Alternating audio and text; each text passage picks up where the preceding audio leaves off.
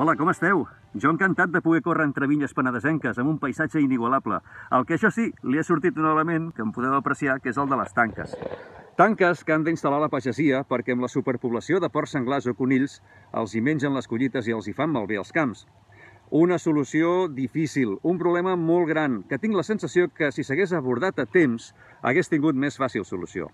Però què passa? També m'imagino que quan es va intentar abordar resulta que es van generar discussions molt enceses entre societats animalistes, entre societats de caçadors, entre la societat, l'opinió pública en general, i què passa? Que la política, que és la que ha de solucionar aquestes qüestions, va optar pel camí del mig.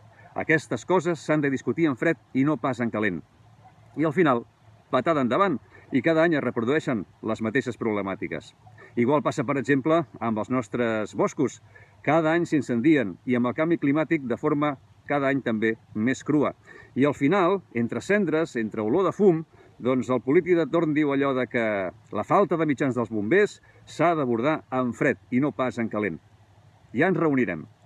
Mireu, penso que la societat en general hauríem de perdre la por a discutir les coses en calent, perquè vist els resultats, això de la discussió en fred em penso que no soluciona gaires coses.